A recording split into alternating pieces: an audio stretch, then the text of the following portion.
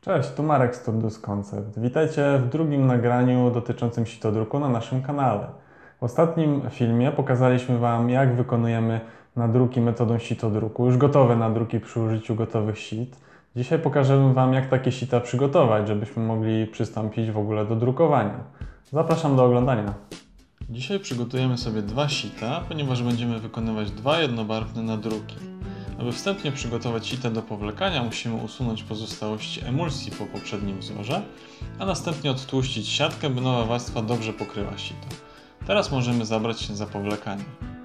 Do tego użyjemy emulsji światłoutwardzalnej firmy Amex. Do renienki nalewamy niezbyt dużą ilość emulsji, uważając by jej nie rozlać. Ma dosyć gęstą konsystencję. Ponieważ emulsja utrwala się pod wpływem promieni ultrafioletowych, najlepiej te czynności wykonywać w zacienionym pomieszczeniu. Jeżeli nie dysponujecie ciemnią, wystarczy zasłonić okna i oświetlić pomieszczenie żarówką w kolorze żółtym. Pierwszą warstwę emulsji nanosimy zawsze od strony zadruku. Przechylamy sito pod kątem około 45 stopni, a następnie lekko dociskamy rynienkę. Pozwalamy, aby emulsja spłynęła jednolicie na sito i przeciągamy zdecydowanym ruchem do góry. Następnie wykonujemy drugą warstwę od strony wewnętrznej, czyli tej, na którą nałożymy później farbę. Nadmiar emulsji możemy zebrać przy pomocy rakli gumowej. Tym sposobem możemy także wygładzić powierzchnię, jeżeli nie jesteśmy zadowoleni z powłoki.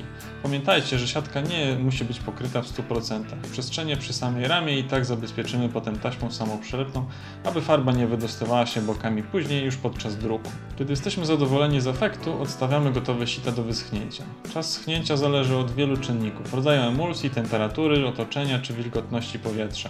Ważne, by przed naświetlaniem sita emulsja była całkowicie sucha. Kiedy sita mamy już przygotowane, możemy przystąpić do wypalania. Kliszę z nadrukiem umieszczamy na szybie urządzenia do naświetlania.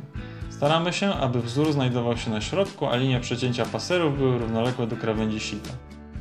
Umieszczamy sito na kliszy, dociskamy lekko do kawałków taśmy klejącej, aby wzór nam się nie przemieścił.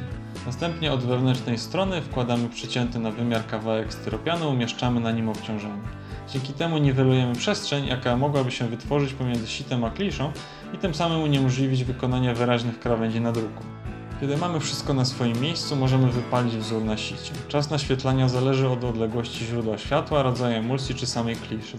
Mówiąc krótko, proces ten wymaga po prostu praktyki. Ok, sito mamy wypalone, zdejmujemy delikatnie kliszę i idziemy wypłukać je. Dobrze, sito już przygotowane, tak wygląda ono po wypłukaniu. Teraz musimy je tylko wysuszyć. Można dodatkowo oświetlić sito po wypłukaniu, jeżeli chcemy być pewni, że emulsja została dobrze doświetlona. Klisze z nadrukiem wyglądają w ten sposób, a tak prezentują się gotowe sita. Oczywiście oba muszą jeszcze wyschnąć, abyśmy mogli ich użyć, ale generalnie cały proces mamy zakończony. Kiedy siatki będą suche, zabieramy się już za drukowanie. Oczywiście proces rejestrowania wzoru jest bardziej skomplikowany i wymaga więcej uwagi, jeśli chcemy wykonać nadruki wykorzystujące więcej niż jeden kolor. Kiedyś na pewno również to pokażemy na którymś nagraniu.